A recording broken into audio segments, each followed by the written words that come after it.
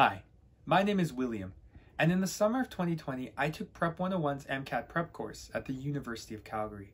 I took the live online version of the prep course. This was great because it meant I got to prepare for the MCAT in the comfort of my own home.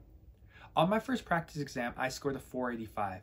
After using Prep 101's amazing resources, I managed to get an official MCAT score of a 511. This was a huge improvement and something I am extremely proud of. Prep 101 helped me get here by first offering a flexible course schedule. I really appreciated how I got to pick which lecture was best fitted for me as they were offered multiple times throughout the week. I also enjoyed how I could retake lectures, meaning if I didn't understand something the first time, I could retake the lecture later in the week to get a better understanding of the material. As well, Prep 101 has amazing professors.